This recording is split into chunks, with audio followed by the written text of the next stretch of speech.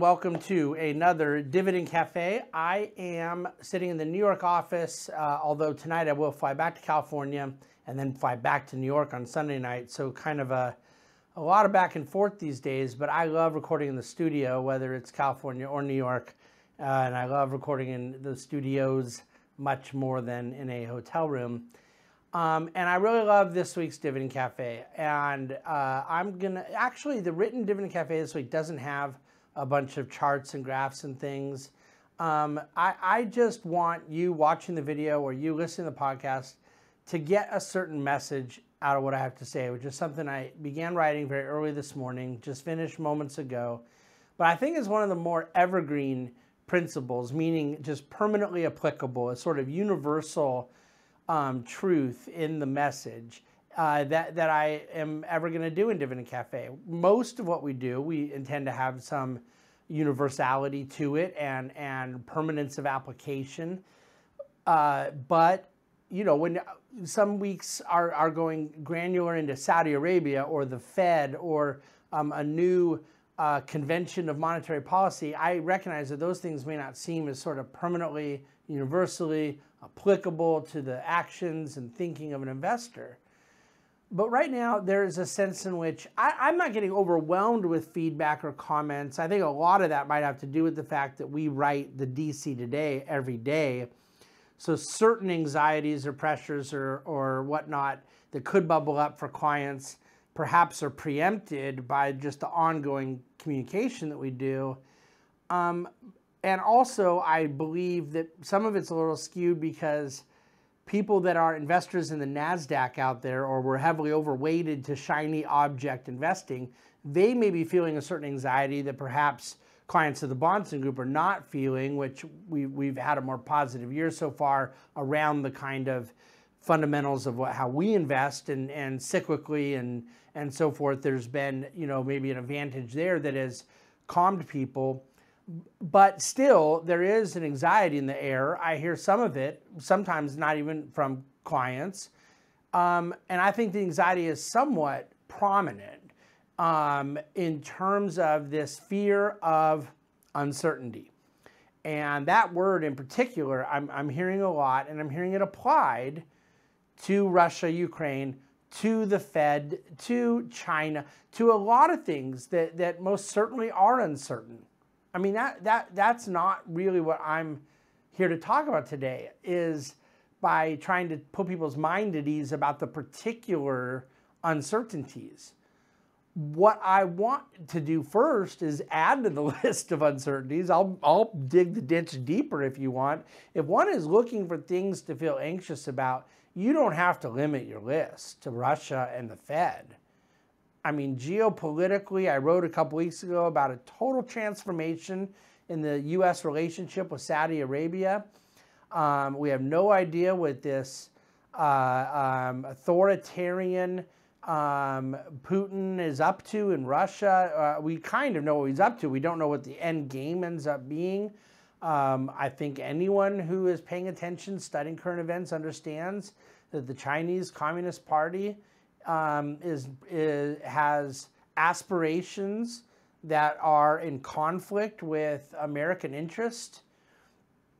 Um, there is a $30 trillion debt uh, sitting on the national credit card, and that debt is not going down, it is going higher. And all we ever talk about is the speed at which we grow the debt, never any discussion about rectifying. Uh, other countries on earth have even worse debt predicaments. There is a valuation issue of the uh, of risk assets, whether it's real estate or or stocks that are trading. If you're being really kind of nice, they're they're in kind of a higher range of historical valuation. If you're trying harder to to get to a worse place. You could argue that they're outside of the bounds of historical valuation. Regardless, there, there's some froth in the way that risk assets are valued. That's indisputable. Uh, we know of high commodity prices. We know of incredible um, global um, uh, tensions, and we know of domestic political polarization, the partisan rancor that I think has become a cultural um, phenomena, and not in a good way. And and so I, I think you could look all over the map um, and find things that are very problematic, and you say there's just too much uncertainty. Okay. And the only thing I guess that I want you to take away in the way I handicap these various uncertainties and distressful predicaments in which we find ourselves as a society, economically, in most categories, some of those um, elements you could argue are more geopolitical or more cultural or more social. This is just not new. It simply is not unique historically. Uncertainty is the most certain thing in the history of investing. And what the specific uncertainty is, is the only variable. So it could very well have been Libya one moment and Egypt another moment in terms of uh, Middle Eastern tensions in the last 10, 20, and 30 years. And it could have been Russia here and, and Japan there and Germany there. You look to the various realities of just the 20th century, and it is almost unfathomable how quickly history has changed in sometimes a matter of 10 years, sometimes for the worse, sometimes for the better. And yet, that permanence in change being a dynamic of investing that has always been there. Um, are the specifics of a Fed being at the zero bound new? Well, actually, that specific isn't even new because we faced it after the financial crisis. They let the zero bound roll way too long. Then they tried to had to get off of it a bit, and uh, you had positive returns in the market from 2015 through 2019. Uh, now, I would argue they chickened out. They didn't go through to the point of full normalization. I don't think the Fed's out of the woods. Um, I don't think they're going to get to full normalization. But my point is, there being this sort of new spirit of monetary experimentation is the uncertainty that I think will be the prominent one I deal with for the decades to come in my career. Um, but even if the Fed was not the major story, or at least people didn't perceive it to be the major story in other past decades of investing, um, there has been that theme, that thing that stuck out as a major uncertainty. And when you look at global tensions, we literally had two world wars in the first half of the 20th century. We literally were engaged in a four decade Cold War with nuclear superpowers, where a significant portion of the square footage of planet Earth was communist controlled. Um, now, all things being equal, I'd prefer to have no global tensions. I'd prefer to not be at war with Germany and Japan, and I'd prefer to also not be in conflict with Russia, with China, with Middle Eastern um, enemies, and things of that nature. But see, I don't know what to say about that. If you're waiting for global peace and harmony to feel good about investing, I, you know, it's not going to happen. There will be a point at which peace and harmony comes, but it is on the other side of glory, my friends. And uh, I think everyone knows that, but I hope it's helpful to be reminded of it. I don't like what Russia has done. I do not like what Putin has done. I do not know how it's going to end. This Ukraine thing is a tragedy. But it, the notion of violence, of military escalation, of uncertainty, it's not new. The debt levels I think 30 trillion is perverse. I think it represents stagnation and growth opportunity. I think the economy will do less great things that it is capable of doing if it weren't for the debt. And yet, I believe that when President Reagan left office, when I was in high school and we had 2.8 trillion of national debt and a bond yield, the 10 year, at 8.5%, People thought that was absolutely cataclysmic. And here we are 30 trillion later, and we have a bond yield of 2.5%. Now, I don't I, I can't tell you that we know how where things go with the debt and where things go with bond yields and so forth. I do know that markets have humbled people who have decided to persist in a, in a kind of atmosphere of uncertainty. Um, the valuation story, by the way, I'm not an index investor. We don't index client portfolios at the Bahnsen Group. We believe in active management. We believe in a better result. We believe in better mechanics and better risk management that come from dividend growth investing. It's what we do.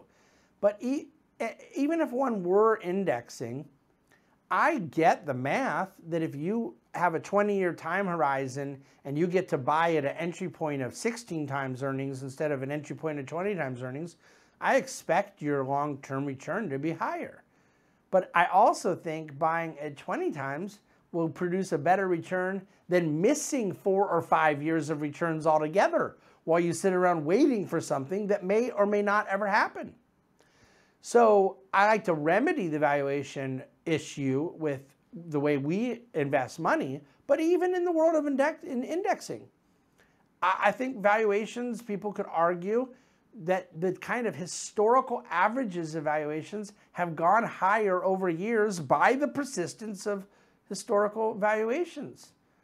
Um, I can tell you this I look at like a perma bear guy like Jeremy Grantham, who I think is brilliant. I love reading his stuff.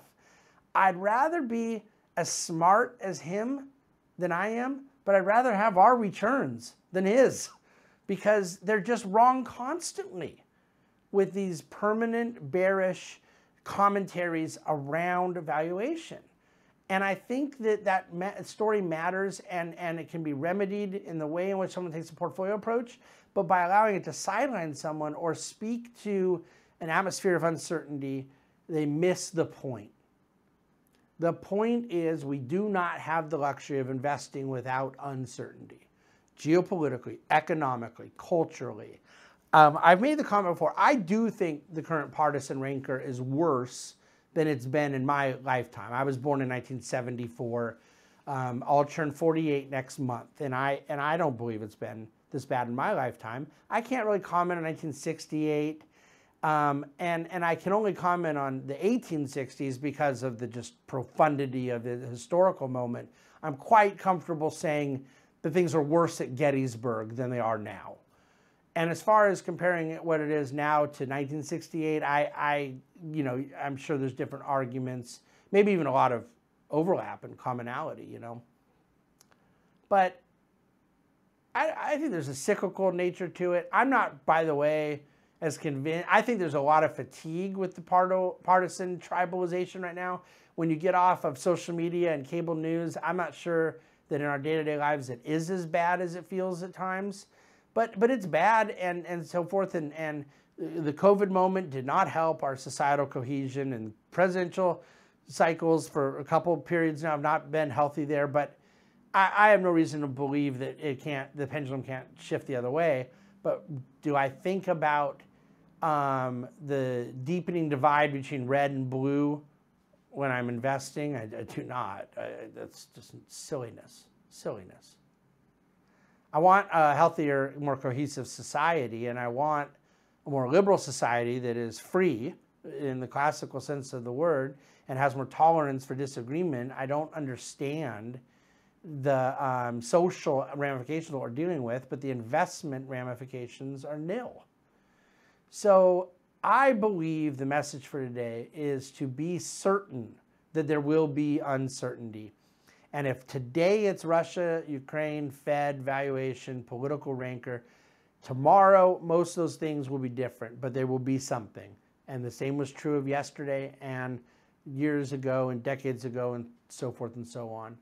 But what I believe in and what I want you to believe in is the capacity for humans to act to do incredible things that create investable, opportunistic, productive results. I favor a pro productivity agenda. I favor pro growth. I favor as few impediments to human action as possible. I favor the right alignment of incentives to get humans to do what I believe they were created to do. And I believe that those who have financial aspirations should tie the growth of their capital to human activity. That's my story. That's what we do at the Bahnsen Group. And I don't believe that uncertainties are going to prevent that. They never have, and I don't believe they ever will. I hope this is helpful. Reach out with questions. Feel free to try to poke holes in the thesis. And in the meantime, just know that um, the world keeps on turning as it always has, and we continue to look for the right opportunities um, to do what needs to be done on behalf of our clients. Thank you for listening to and watching the Dividend Cafe. Look forward to coming back to you next week. It'll be a Thursday Dividend Cafe because markets uh, and offices are closed on Friday in honor of Good Friday. Thank you for watching the Dividend Cafe.